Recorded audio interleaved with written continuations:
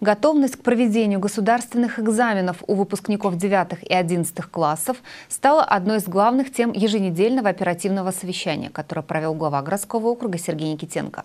Обсудили сегодня и работу по борьбе с незаконной рекламой и граффити. Продолжение темы в нашем сюжете. В этом году сдавать государственные экзамены будут более трех тысяч выпускников 9 и 11 классов. Важно обеспечить стопроцентную готовность образовательных учреждений к проведению итоговой аттестации, которая начнется с 21 мая. Пункты должны быть оборудованы всем необходимым. Такое поручение дал глава Сергей Никитенко на оперативном совещании ответственным руководителям. Очень важно, потому что ну, это наши дети. Мне бы очень хотелось бы действительно, чтобы максимально уходили образованными из стен наших школ.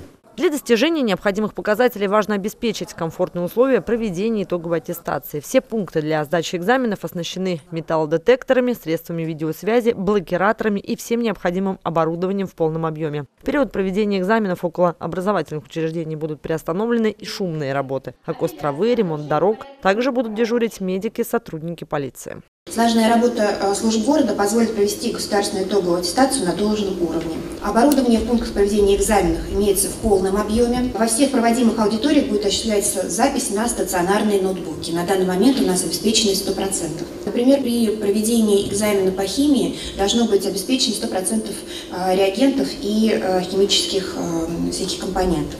А также и при проведении экзамена по физике. Обсудили сегодня на оперативном совещании еще одну важную тему – работа по борьбе с граффити и незаконной рекламой на особом контроле у главы городского округа Сергея Никитенко. Вандальные надписи и рисунки портят фасады многоквартирных домов, детские, спортивные площадки, автобусные остановки. Важно не допустить нарушений. С этой целью в округе работает система видеонаблюдения «Безопасный регион», регулярно проводятся рейды. В ходе проведения рейдов по адресам, где наиболее часто появляются надписи и листовки, собственникам объекта выдаются предписания о необходимости устранения нарушения. За указанное деяние российское законодательство предусматривает административную ответственность с наложением штрафа в размере от 300 до 500 рублей.